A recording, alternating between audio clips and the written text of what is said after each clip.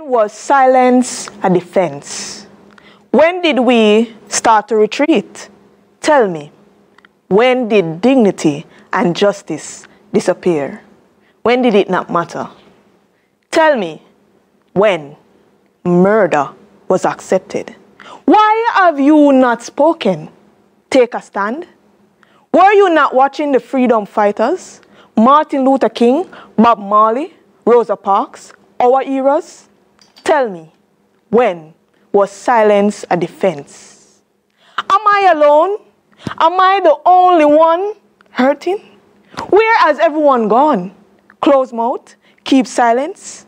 Well, no more.